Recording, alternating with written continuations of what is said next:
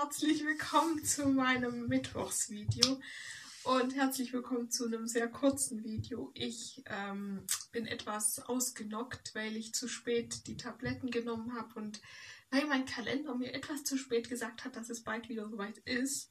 Und ja, es tun mir die Glieder weh und eigentlich alles. Aber ich wollte heute euch ein kleines Video drehen und drum eine kleine, sehr aktuelle Geschichte. Nämlich eine Geschichte zum Thema, wenn man mal auf andere hören würde und was, dass man dann auf andere hört, wenn man doch gut ist. Und dass man dann auch wiederum, wenn es dann nicht so läuft, doch wieder was gelernt hat. Ja, also, die Geschichte ist heute mal ausnahmsweise keine Geschichte über mich, weil, ja, muss ja nicht immer von sich selbst erzählen. So furchtbar selbstverliebt bin ich nicht, aber ich kann ja trotzdem über mich in, dritten, in dritter Person reden. So gut, geht, macht einen schlanken Fuß. Also, es tut mir leid, ich bin etwas bekifft. Also, für, tut mir wirklich leid. Gut, ich vertrage keine Schmerztabletten. Immer noch nicht. Und ja, heute war so ein Moment, wo ich etwas mehr nehmen musste, weil es einfach nicht anders ging. Okay, wieder ein bisschen zu viel ins Detail gegangen und hier kommt jetzt die Geschichte. Also, ungefähr am Montag, Montagabend, ähm, habe ich, also gut, ich hole ein bisschen aus. Duckt euch, dass ich euch nicht treffe. ich zahle nachher was um meine schlechte Witze. Keine Sorge. Ja, auf jeden Fall, vor ein paar Wochen habe ich mir dieses Spiel zugelegt, das heißt Harvest Moon ähm, Himmelsbäume. Tal der Himmelsbäume oder irgend so wie. Das habe ich jetzt, das, habe ich dann vor ein paar Tagen, war es nicht Wochen, also es ist noch nicht so alt. Und das habe ich jetzt angefangen zu spielen und ich bin auch schon relativ weit. Und am Montagabend war es dann soweit und ich habe einen süßen Esel von einer der Spielfiguren geschenkt bekommen. Und den wollte ich meiner Mutter zeigen. Und so habe ich mich dann entschieden, meine Mutter mal anzurufen und zu fragen, du Mama, ähm, kann ich zu euch auf die untere Etage kommen und dann da dir das zeigen? Zumindest war das mein Plan, was ich machen wollte. Und dann hat meine Mutter zu mir erzählt, äh, ja, das könnte ich, aber mir wäre gerade eine Maus durchs Bein gelaufen am Bein hochgelaufen. Und dann habe ich mir so gedacht, wie so eine Kribbelmaus, das kennt man doch, wenn man, wenn einem was einschläft und dann kribbelt Dann nennt man das ja auch ein Mäuschen im Fuß haben. Und dann habe ich so gefragt, so eine Kribbelmaus. Und dann sie so, nee, nee, so eine echte lebendige. Daraufhin habe ich meine Mutter gefragt, wie jetzt echt lebendig? So echt, echt lebendig. Und dann meinte Mutter so, ja, ja. Und dann habe hab ich gesagt, warte mal, warte mal. Dann habe ich auf, ich komme runter. Dann habe ich aufgelegt, bin nach unten gelaufen und habe mir vorgestellt, dass meine Mutter, also dass meine Mutter mindestens die Maus noch in der Hand haben sollte. Also ich dachte, da ist jetzt so eine kleine Maus und meine Mom und ich kann dann die Maus mitnehmen und irgendwie und vielleicht eine Mauszucht aufmachen oder sowas. Ja, die Maus war dann nicht mehr da. Dann mein Bruder, der hat meine Mutter heldenhaft gerettet und die Maus bei uns in den Garten gebracht und ja. Auf jeden Fall war es dann so, dass meine Mutter da gesessen ist und sie hatte keine Kratzer, keine, also es hat nichts geblutet und auch nichts sonst. Aber ich habe in dem Moment zu meiner Mutter gesagt, du Mama, geh besser ins Krankenhaus, weil was, wenn die Maus jetzt Tollwut hat oder die Tetanus oder irgend sowas. Da weiß ich nie, wo die Mäuse herkommen. Die können theoretisch, kann es eine Maus aus Sibirien sein und oder eine Maus aus äh, West aus Westafrika oder eine Maus von von China, weil die irgendwie über einen Obstkorb mitgereist ist oder irgend sowas. Und da habe ich auf jeden Fall dann meine Mutter geraten, sie soll doch ins Krankenhaus gehen, besser die Impfungen auffrischen lassen, nicht, dass da irgendwas ist, nicht, dass da irgendwas passiert. Und dann hat mein Vater, mein Vater hat die ganze Zeit so gemeint, nein, nein, das ist doch nicht nötig. Auch meine Mutter hat so, ähm, hat, also zu mir sagt sie immer, egal um was es geht, guck auf keinen Fall in Foren nach, weil da steht immer nur Quatsch drin. Das Internet, das erzählt ja auch nicht immer alles so. Aber als es dann bei ihr um diesen Maus ging, dann war sie in Foren, hat im Internet gegoogelt und dann war es plötzlich doch eine glaubhafte Quelle. Auf jeden Fall habe ich dann meine Mutter hat habe ich dann meine Mutter irgendwann so schaller gemacht, dass sie ich habe gesagt, sie soll es nochmal desinfizieren und alles. Und eine Sekunde, ich muss mal ganz kurz, darf ich die ganze ganze Geschichte erzählen? Ja, desinfiziert hatte ich schon. Die Leitstelle hatte ich schon. Also, also meine Mutter hat, hat bereits bei, der, bei dem Krankenwagen, bei der Notrufleitstelle angerufen und gefragt, was sie jetzt tun soll und hat es dann schon selbst desinfiziert. Aber als ich dann da war, hat sie es nochmal desinfiziert. Mit Alkohol zur Sicherheit. Und ich war auf jeden Fall total schala und schalu und habe auch meine Mutter, glaube ich, sehr schalu gemacht. Ja. Und und dann irgendwann habe ich zu meinem Papa gesagt, du Papa, setz dich ans, an den Fernseher, guck fern, lenk dich ab und ich kümmere mich drum. Keine Sorge. Ich habe dann auch zu meinem Bruder gesagt, er soll sich ablenken, ich würde mich drum kümmern und sie sollen sich da raushalten. Das wäre.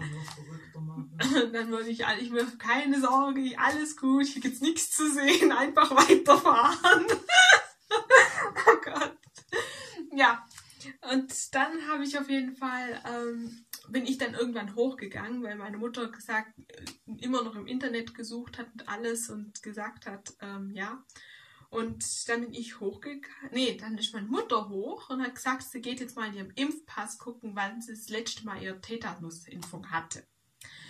Und dann habe ich auf jeden Fall, bin ich dann irgendwann, habe ich noch mit Papa geredet, habe noch ein bisschen ihn abgelenkt und irgendwann habe ich dann, bin ich dann auch hoch und dann hat meine Mutter gesagt, ja, also ihre Impfung wäre jetzt das letzte Mal 2009 gewesen, ne? Mhm. Ja, 2009. Und sie wird dann doch noch ins Krankenhaus gehen und ähm, es sich nach nochmal impfen lassen. Und er hat ein, uh, entschuldigt, ich habe hier, uh, ich bin gerade als Tunnel missbraucht worden hier. entschuldigt. ja. Auf jeden Fall hat dann meine Mutter, ähm, hat, wir haben einen Bekannten, hallo an der Stelle, falls er das Video sieht, der hat, der wohnt, ähm, der wohnt ganz weit weg und der ist gerade bei uns auf der Ferienhütte und der ist ähm, Rettungshelfer und den hat meine Mama dann eben auch gefragt, was sie machen soll. Und der hat dann eben gesagt, sie soll sich übers Bein pinkeln. Und ja, er hat dann auch den Tipp gegeben, dass, dass das am besten helfen würde. Und weil ich dann in dem Moment eine volle Blase hatte, bin ich zu meiner Mutter hingestanden und habe gesagt, Mama, ich mache das jetzt für dich.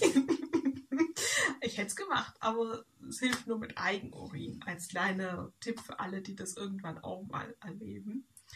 Und auf jeden Fall war es dann so, dass meine Mutter, dass meine Mutter dann, kann ich es weiter erzählen,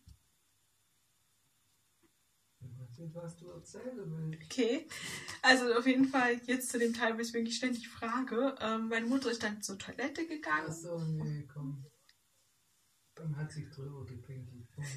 dann hat sich drüber gepinkelt.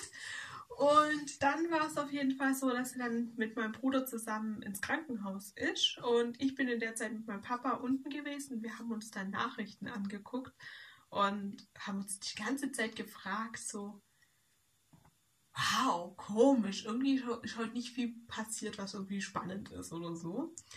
Und haben dann irgendwann angefangen, über Eis zu reden. Und dann hatte ich irgendwann Lust auf Donuts.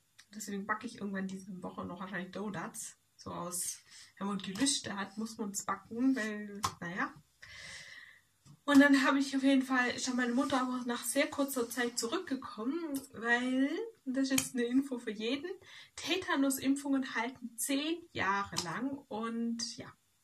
Das heißt, man muss die nur alle zehn Jahre auffrischen und wenn man die noch frisch hat, dann muss man die theoretisch sich nicht nachimpfen lassen.